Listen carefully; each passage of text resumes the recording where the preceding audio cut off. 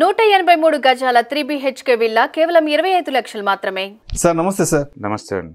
సుందరనారాయణ గారు ఇప్పుడు విక్స్ అనేది ఉంది కదా వాలిటాలిటీ ఇండెక్స్. సో అంటే ఇది మామూలుగా ఎలా ఉంటుందంటే మార్కెట్ పెరుగుతున్నప్పుడు విఎక్స్ తగ్గుతుంది. మార్కెట్ తగ్గుతున్నప్పుడు విఎక్స్ పెరుగుతుంది. అంటే ఇది మామూలుగా సాధారణంగా ఉండే కొలమానం. అవును. కానీ ఇప్పుడు ఏం జరుగుతుందంటే మార్కెట్ ఎంత వేగంగా పరిగెడుతుందో విఎక్స్ కూడా అంతే వేగంతో పైకి వస్తుంది. ఏంటి ఈ అంటే ఈ ఆపోజిట్ రివర్స్ డైరెక్షన్ ఏంటో అర్థం కావట్లేదు ఇప్పుడున్న మార్కెట్ కండిషన్స్లో. రైట్ యూజువల్గా మీరు చెప్పింది కరెక్ట్ అండి. మార్కెట్కి ఆపోజిట్లో ఉంటుంది విఏఎక్స్ యూజువల్గా ఏంటంటే ఈక్విటీ ముందుకెళ్ళాలంటే క్రూడ్ బాగా డౌన్ అయినా మార్కెట్ ముందుకెళ్తుంది. యుఎస్డి ఐఎన్ఆర్ తగ్గినా మార్కెట్ ముందుకెళ్తుంది. అలాగే డాలర్ ఇండెక్స్ తగ్గినా మార్కెట్ ముందుకెళ్తుంది. గోల్డ్ తగ్గినా మార్కెట్ ముందుకెళ్తుంది. And ten years bond yield అలాంటివి తగ్గినా కూడా మార్కెట్లు ముందుకెళ్తాయి. అంటే ఈక్విటీ మార్కెట్ వాలటిలిటీ అసెట్ కాబట్టి మిగతా డిస్టర్బెన్స్ ఉంటే ఇది ముందుకు పోతుంటుంది. ఇది డిస్టర్బెన్స్ ఉన్నప్పుడు ఇది తగ్గుతుంటేనేమో అవి ముందుకు వెళ్తూ ఉంటాయి అనమాట అది మామూలు కార్లేషన్ అయితే మామూలుగా అయితే నువ్వు అన్నట్టు ఈ ఫీర్ ఇండెక్స్ లేదా ఏదైతే విఏఎక్స్ అంటారో ఇదేంటంటే నెక్స్ట్ థర్టీ డేస్లో మార్కెట్ యొక్క ఫియర్ని మెజర్ చేస్తుంది. బేసికల్గా ఏంటంటే అది ఆప్షన్ మార్కెట్ యాక్టివిటీ బేస్గా తీసుకొని ఇది వర్క్ చేస్తుంది అనమాట అండ్ కరెంట్ మార్కెట్లో ఫిఫ్టీన్ పాయింట్ సిక్స్ వరకు ఉంది. ఇది రీసెంట్గా లాస్ట్ టెన్ డేస్లోనే ఆల్మోస్ట్ థర్టీ నుంచి ఫిఫ్టీన్ దాకా వెళ్ళిపోయింది. ఓకే? అంటే ఇప్పుడు లెవెన్ మంత్స్ హైలో ఉంది ఇది. ఇది లెవెన్ మంత్స్ హైలో ఉంది.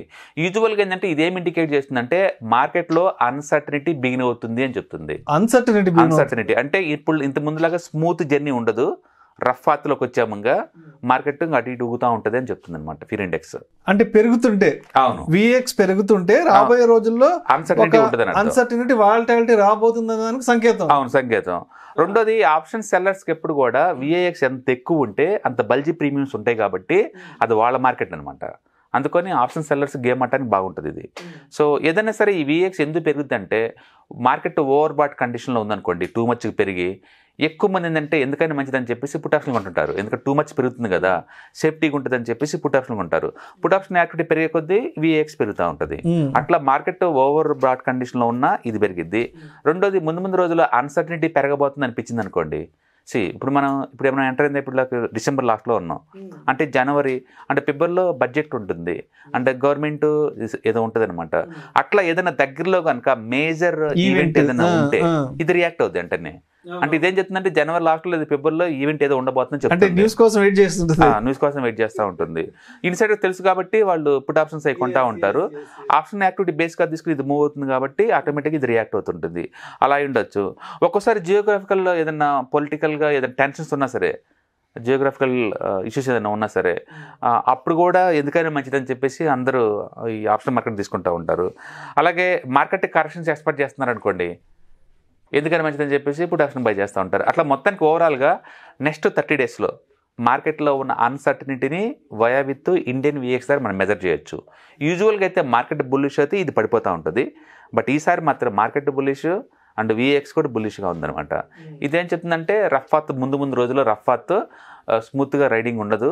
జాగ్రత్తగా ఉండండి అని చెప్తుంది వార్నింగ్ ఓకే కాబట్టి మార్కెట్లో ఇంటర్డేలో టూ మచ్ పట్టాలు మళ్ళీ వెంటనే రికవర్ అవటాలు టూ మచ్ పెరటాలు టూ మచ్ పట్టాలు ఇలా జరుగుతుంటాయి అనమాట సో ముందు ముందు రోజులు స్వింగ్స్ టూ మచ్గా వస్తుంటాయి స్మూత్గా ఉంటుంది మార్కెట్. అంటే బికాస్ ఆఫ్ ఈ విఎక్స్ ఇండికేషన్ వల్ల. అందుకని ఏంటంటే ఎక్కువ మంది పోర్టుకోలు పెద్ద మొత్తంలో ఉన్న వాళ్ళు ఏంటంటే ఎందుకని మంచిదని చెప్పేసి కొన్ని పుట్ ఆప్షన్స్ కొంటారు సేఫ్టీగా ఒకవేళ మార్కెట్ టెంపరీ కరెక్షన్కి వస్తే ఇది ప్రొటెక్షన్ ఇచ్చింది కదా అని చెప్పేసి అనమాట రైట్ రైట్ అట్లా దీన్ని ఈ ఫీర్ ఇండెక్స్ మార్కెట్లో పార్టిసిపెంట్స్ యొక్క మూడ్ని నెక్స్ట్ థర్టీ డేస్కి ఎలా ఉంది అని మెజర్ చేయడం కోసం మనం వాడతాం ఇండియన్ విఎక్స్ యాక్చువల్గా మీరు ట్రేడింగ్ కనుక చేస్తుంటే దీన్ని వాచెస్లో పెట్టుకోవాలి కంపల్సరీగా విఎక్స్ అది అది ఏం చేస్తుందో మనకు తెలియాలి. ఈసారి స్పీడ్గా పెరిగిందండి. ఇప్పుడు ఆల్మోస్ట్ ఫిఫ్టీన్ పాయింట్ ఎయిట్కి వచ్చింది. అంటే మనం బాటం టాప్ బాటం అనుకుంటే మనం నైన్ టెన్ అనుకుంటాం. పీక్ లెవెల్ అని ట్వంటీ ఫైవ్ అనుకుంటాం. ఇప్పుడు ఆల్మోస్ట్ ఫిఫ్టీన్కి వచ్చేసామంటే టూ మచ్ ఫాస్ట్గా వస్తుంది వాలటిలిటీ మార్కెట్లోకి. రైట్ రైట్ బట్ యూజువల్గా బా టూ మచ్ బులిష్ అయినప్పుడు అప్పుడప్పుడు ఇది మామూలు విషయం. సో సుందరారెడ్డి గారు రీసెంట్గా అంటే మీలాంటి ఎక్స్పర్ట్స్ ఒక ఇద్దరు ముగ్గురితో మాట్లాడాను. అంటే ట్రేడింగ్ చేసేవాళ్ళు. సార్ మార్కెట్స్ బాగా ఆల్ టైమ్ హైలో ఉన్నాయి కదా సో బాగా హ్యాపీగా ఉన్నారు బాగా డబ్బులు వస్తున్నాయి అంటే వాళ్ళు ఏం చెప్పారంటే సార్ ఇప్పుడు అంటే లాంగ్ టర్మ్ ఇన్వెస్టర్స్కి అయితే హ్యాపీ బట్ అంటే మాలాంటి ట్రేడర్స్కి కొంత గడ్డు కాలం నడుస్తుంది అని ఏవో కొన్ని నెగటివ్ కామెంట్స్ చేశారంటే మార్కెట్ ఆల్ టైమ్ హైలో ఉన్నా కూడా. మరి ఏంటి అంటే ఇప్పుడు ట్రేడర్స్ కూర్చునే కష్టకాలం ఏంటి? మార్కెట్ ఇంత ఆల్ టైమ్ హైలో ఉన్నా కూడా? రైట్ సో బేసికల్గా ఎనీ పాయింట్ ఆఫ్ టైంలో మార్కెట్లో మూడు రకాల ప్లేయర్స్ ఉంటారండి. ఒకటి బుల్లిష్ బెట్ కాసేవాళ్ళు. అంటే మార్కెట్ పెరుగుతుందని బెట్ కాసేవాళ్ళు. ఎక్కువ మంది ఇన్వెస్టర్స్ ఎప్పుడు కూడా లాంగ్ టర్మ్లో పెరిగిద్దని బెట్ కాస్తుంటారు. అది వాళ్ళకి ఇది గోల్డెన్ ఎరా ఎందుకంటే డబ్బులు వచ్చింది కాబట్టి. రెండోది మార్కెట్ పడిద్దని బెట్ కాస్తుంటారు వాళ్ళు. వాళ్ళు వాళ్ళు వేరే పర్సనాలిటీ అనమాట ఇప్పుడు మార్కెట్ పడిద్దని బెట్ కాసావు అనుకోండి మార్కెట్ ముందు పోతుందంటే వాళ్ళు లాస్ అవ్వాల్సిందే. రెండోది ఈ ఆప్షన్ ట్రేడింగ్ చేసే వాళ్ళు ఏంటంటే మార్కెట్ ఎటు పెరగదు అని చెప్పేసి పైన కాల్ ఆప్షన్ అమ్మేస్తారు కింద పుట్ ఆప్షన్ అమ్మేస్తుంటారు. మరి మార్కెట్ పెరుగుతుంది కాబట్టి వాళ్ళు కూడా గడ్డుకాలమే అంటే ఆప్షన్ సెల్లర్స్కి సైడ్ మార్కెట్ అని ఎక్స్పెక్ట్ చేసే వాళ్ళకి మార్కెట్ బేరిష్ అవుతుందని బెట్ కాసే వాళ్ళకి వీళ్ళిద్దరికి లాసులు అవుతుంటాయి మార్కెట్ పెరుగుతున్నా సరే. అందుకని మార్కెట్ నిజంగా బుల్లిష్ అయినా సరే అందరూ పార్టిసిపెంట్స్కి అమౌంట్ ఈక్వల్ కంటే రాదు. మీరు ఏ వైపు బెట్ కాస్తున్నారో అన్నదాన్ని బట్టి అమౌంట్ వస్తుంది. మార్కెట్ పెరగటం వల్ల ఇన్వెస్టర్స్కి అయితే అదొక్కటే బెనిఫిట్ వాళ్ళకి. సైడ్ వేలో ఉన్నా పడినా వాళ్ళు లాస్ అవుతారు. బట్ ట్రేడర్స్ అలా కాదు. నువ్వు ఎటు బెట్ కాస్తున్నావు అనేది చాలా ఇంపార్టెంట్. ఏ వైపు ఉన్నావు నువ్వు అనేది. అందుకని ఎనీ పాయింట్ ఆఫ్ టైంలో మార్కెట్లో ఈ మూడు రకాల పార్టిసిపెంట్స్ ఉంటారు. పెరిగిద్దని బెట్ కాసేవాళ్ళు బుల్స్.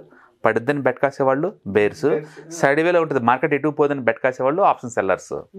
సో అందుకని ఇప్పుడు మార్కెట్ పెరిగింది అనుకోండి ఒకరికి డబ్బు వస్తుంది మిగతా ఇద్దరు పార్టిసిపెంట్స్ డబ్బు అవుతుంది.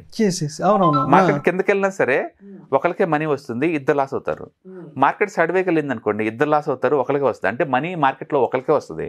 మిగతా ఇద్దరు any point of time loss అవ్వాల్సిందే. అందుకని ట్రేడింగ్ చేసే వాళ్ళు ఏ వైపు బెట్ కాస్తున్నారు అన్నదాన్ని బట్టేసి ఆ రోజు మనీ ఉంటుంది వాళ్ళకి. పైగా వీళ్ళన్నీ టెంపరీగా షార్ట్ టర్మ్ పొజిషన్సే కదా. అదే- ఇన్వెస్టర్స్ అనుకోండి లాంగ్ టర్మ్ పొజిషన్స్ కాబట్టి వాళ్ళు ఎప్పుడు ఉంటారు. అంటే. ఓన్లీ పెరిగితేనే వాళ్ళకి లాభం. పడింది అనుకోండి వాళ్ళు లాస్ అవుతారు. సైడ్ వేలో ఉన్న వాళ్ళకి ఏం రాదు. ఏం రాదు. ఏం రాదు. బట్ ట్రేడర్స్ అలా కాదు. మార్కెట్ కండిషన్ తగ్గట్టు వీడు మారతాడు లేదా వెయిట్ చేస్తాడు. ఆ టైం వచ్చేందాక వెయిట్ చేసి ఆ వైపు బెట్టకాస్తారు అందుకని ట్రేడింగ్లో నిజంగా అమౌంట్ వస్తుందో పోతుందో కూడా మనం ఎవరు చెప్పలేము. చెప్పలేము. చెప్పలేము. పడుతున్న అమౌంట్ రావచ్చు పెరుగుతున్న అమౌంట్ పోవచ్చు కూడా. అదే అంటే నాకు అర్థం కాలేదు. ఏంటి మార్కెట్ ఇవాళ ఆల్ టైమ్ హైక్ వచ్చింది కదా డెబ్బై రెండు వేలు కదా డెబ్బై మూడు వేలు మాట్లాడుతుంటే లేదండి అది మనకు కాదు. మేము ట్రేడర్స్కి కొంత సిచ్యువేషన్స్ ఏం బాగాలేవు అంటే మాకు అంత అలానే అనేం లేదు. ఇప్పుడు సడవే మార్కెట్లో బెట్ కాశారనుకోండి డెఫినెట్గా అది చాలా కష్టం ఈ టైంలో ఓకే. ఫుల్ ట్రెండింగ్లో మార్కెట్ నువ్వు ఎటు పోదని సైడ్వే మార్కెట్ అని బెట్ అనుకోండి మార్కెట్ సైడ్వే లేదు కదా.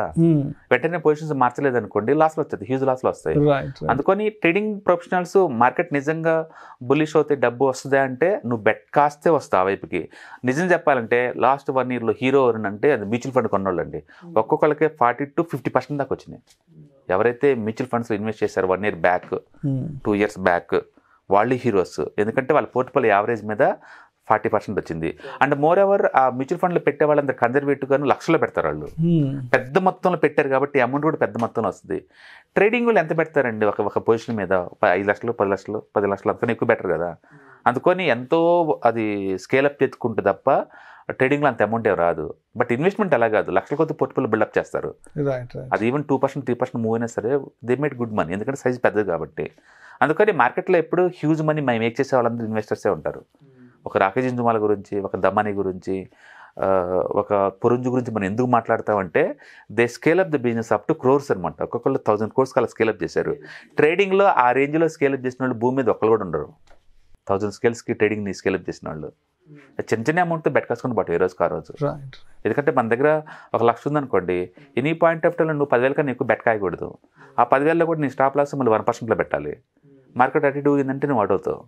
అది ట్రేడింగ్ ప్రొఫెషన్ ఇన్వెస్టర్స్ అలా కాదు పెడతారు వాళ్ళ వైపు వచ్చిందాక వెయిట్ చేస్తారు.